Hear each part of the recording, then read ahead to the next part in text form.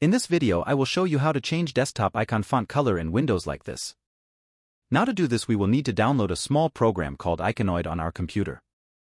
I will put the download link at the bottom of the video or you can search for it on Google. Click the Download Now button. Then agree to run the installation. Now complete the normal installation settings.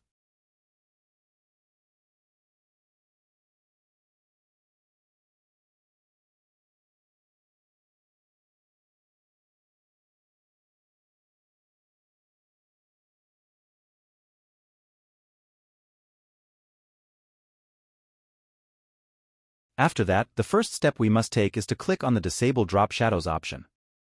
Now the color change menu will open for us. After that, go to the hiding section at the top. Then click on Never Hide so that we can show the icons continuously, because as you saw a moment ago, the icons disappeared because of this option. Now go to the Colors section and click on Text Color. You can now easily choose any color you want, then press the OK button at the bottom and the text color of the icons will be successfully changed.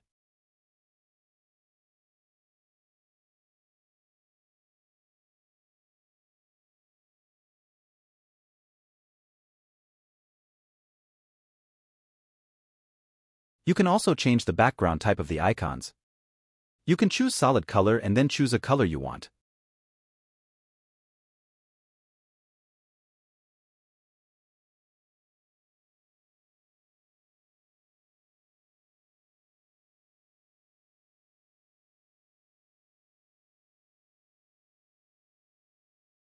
Finally, to return everything to normal, click on the Reset tab option at the bottom. Also click on the Enable Drop Shadows option. Thanks for watching and don't forget to like and subscribe to the channel.